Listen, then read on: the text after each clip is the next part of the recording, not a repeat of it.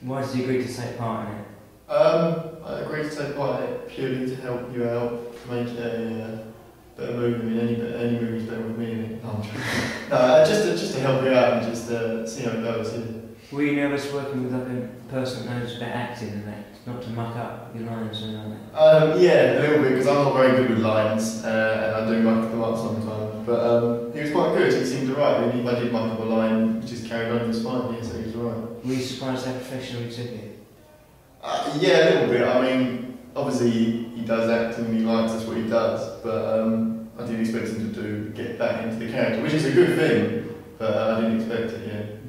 What do you think of the director? Um, he's not bad. Yeah, it's good. It's good. It's going well. I'm really enjoying it.